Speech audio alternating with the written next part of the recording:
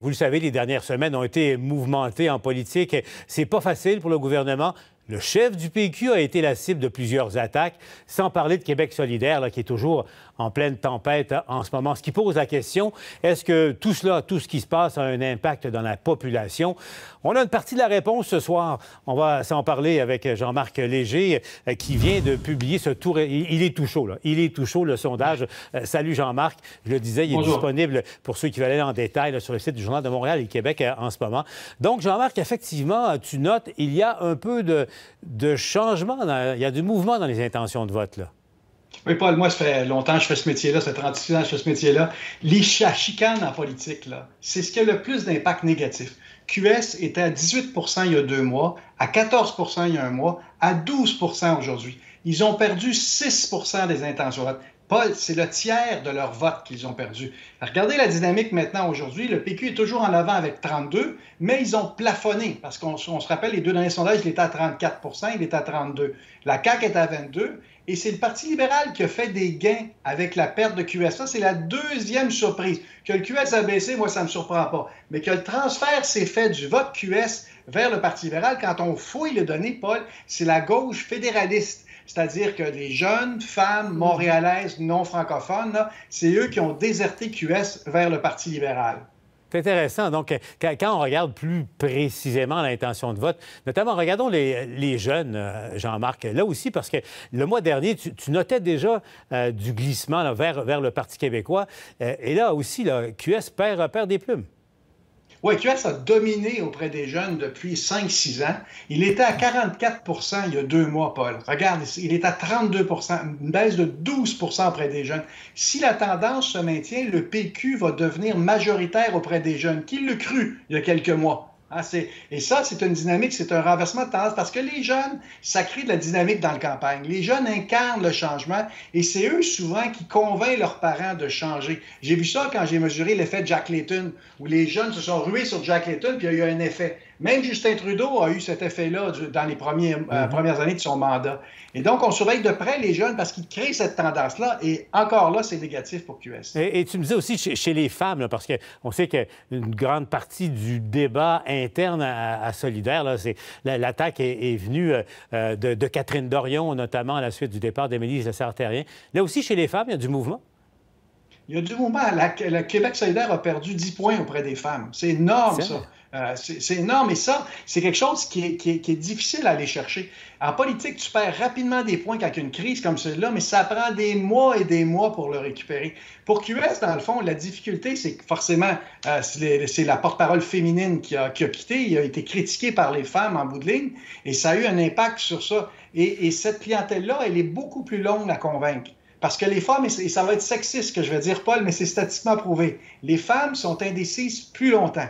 Mais quand ils prennent position, ils prennent vraiment position pour beaucoup plus longtemps.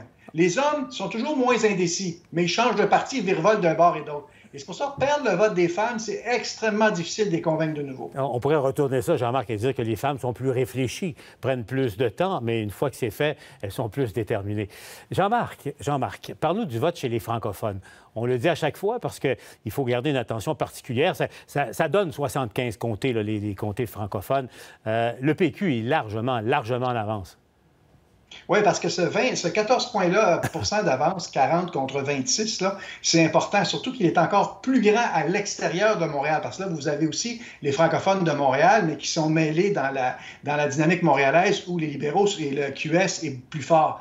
Mais à l'extérieur de Montréal, le Parti québécois est en avance. Et ça, ça voudrait dire que s'il y avait élection aujourd'hui, le gouvernement serait majoritaire, péquiste mais on est loin d'élection. Et surtout, pour la première fois depuis plusieurs mois, même depuis l'élection, on voit le plafonnement du PQ. Vous savez, le PQ, juste avant les élections, était à 9 des intentions de vote.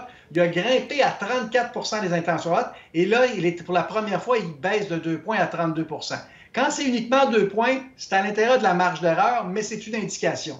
Comme QS, vous savez, c'est 2 points aujourd'hui, mais plus le 4 points de la dernière fois, là, quand on voit plusieurs sondages qui se cumulent, on dit, oh, là, il y a une vraie tendance. Pour l'instant, il y a comme une lumière jaune pour le Parti québécois parce qu'il ne récupère pas le vote de QS. Si on pense que les électeurs QS sont leur deuxième choix, c'est le PQ, non. QS, c'est un parti qui a été créé anti-PQ. Et ça paraît aujourd'hui. Ces gens-là glissent vers le Parti libéral. Et on n'a pas mentionné le Parti conservateur. Il faut le mentionner parce que 12 des voix, là, c'est quand même significatif au total. Il y a une fraction de, gens de Québec solidaire qui sont à l'extrême gauche qui préfèrent voter pour l'extrême droite du Parti conservateur parce que ce sont des gens anti-système. QS éclate et le Parti libéral, le Parti conservateur en, ramasse des miettes autour. C'est intéressant quand même. Euh, Jean-Marc, je vois encore que le Parti libéral n'a que 6 chez, euh, chez les francophones. Euh, ça ne lève pas du côté des francophones. Non, il faut comprendre que l'erreur qu'ils ont fait, c'est qu'ils ont décidé de repousser la course à chefferie l'année prochaine. Fait que forcément, là, ils ramassent quelques votes par, par la faiblesse des autres, mais tant qu'ils n'ont pas d'option véritable, un chef véritable, un programme véritable, et il risque d'être trop tard. C'est la difficulté pour le Parti libéral, parce que la montée du PQ, en théorie, devrait aussi créer une montée euh, mm-hmm. du Parti libéral. Et c'est là, ça, c'est la menace la plus importante sur la CAQ de François Legault. Perdre le vote nationaliste d'un côté, il peut survivre. Perdre en même temps le vote fédéraliste au Parti libéral, ça va devenir plus difficile. Oui. Euh, bon, Jean-Marc, je, le disais d'entrée de jeu, on avait hâte de voir euh, ton sondage parce que, bon, Paul Saint-Pierre Plamondon a été au centre de beaucoup de critiques de, ses adversaires qui ont tenté de le définir au niveau du caractère. Donc, quand on pose la question qui ferait le meilleur premier ministre, là aussi, Jean-Marc, bon, c'est à l'intérieur de ta marge d'erreur, mais euh, il perd des plumes un peu, M. Saint-Pierre Plamondon.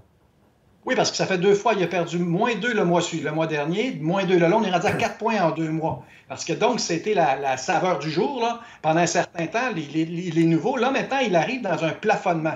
Là, c'est là qu'on va voir la réalité. Est-ce qu'il est suffisamment fort pour assumer tout ça? C'est sûr qu'aujourd'hui, c'est plus facile pour lui. Il a le vent dans le dos quand même parce que le Parti québécois demeure en première, en première ligne. Il attire des nouveaux candidats. Au niveau du financement, c'est eux qui vont chercher le plus de financement. Mais il y a quand même, comme je disais, une lumière jaune. Là. Parce que quand on commence à chuter, ça devient difficile d'arrêter ça. Mais regardez tous les chefs de parti. Paul, il y a quelques années, là, vous auriez vu des chiffres comme ça. Lucien Bouchard était nettement plus populaire que son parti. Jean Charest, dans ses belles années, était plus populaire. Nommez-les tous. Ici, ils sont tous moins populaires que leur parti. C'est comme une, lutte à qui ferait le moins pire plutôt que qui serait le meilleur. comme disait euh, Elvis, le plus, moins pire. Euh, Jean-Marc, plus, plus deux pour Marc Tanguay. C'est la première fois que ça, arrive. Donc, est-ce que ça, ça note, euh, ça annonce quelque chose, d'après toi?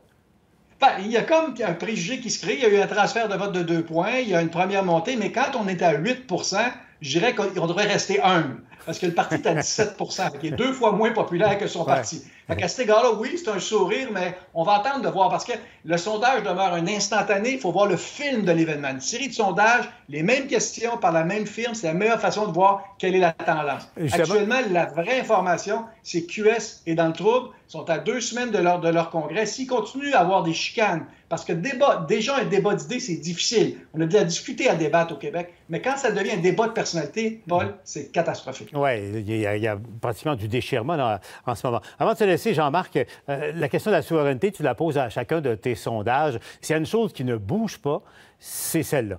Euh, encore 36% ça devient euh, un plancher et peut-être un plafond, on ne le sait pas, mais toujours limité à 36% en ce moment. C'est constant. C'est constant, 36% depuis des années, c'est constant. La dernière fois que ça avait grimpé véritablement, Paul, c'est durant le scandale des commandites. Là, ça avait monté de façon au-delà de 50% Sinon, c'est revenu toujours entre 35 et 40. Puis là, depuis deux ans, on est à 36% Ça, c'est le seuil maximum pour le Parti québécois qui est à 32 à ce moment-ci. Il y a encore un potentiel parce que les souverainistes ont quitté la CAQ en grande partie. Il reste à peu près 37-38% de souverainistes à la CAQ.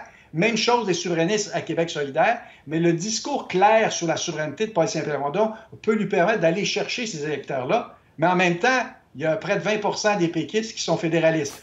D'un côté, tu peux faire des gains, mais de l'autre côté, tu vas perdre des gens qui veulent simplement se débarrasser du gouvernement en place puis ils votent pour l'alternative. Il y a beaucoup de mouvements dans l'opinion publique. Ce que je présente aujourd'hui, c'est un peu la, donnée globale, mais en dessous de ça, il y a des gens au Saguenay-Lac-Saint-Jean, il y a des gens à Montréal. Ça change d'un parti ou l'autre parce qu'il y a beaucoup moins de fidélité qu'avant.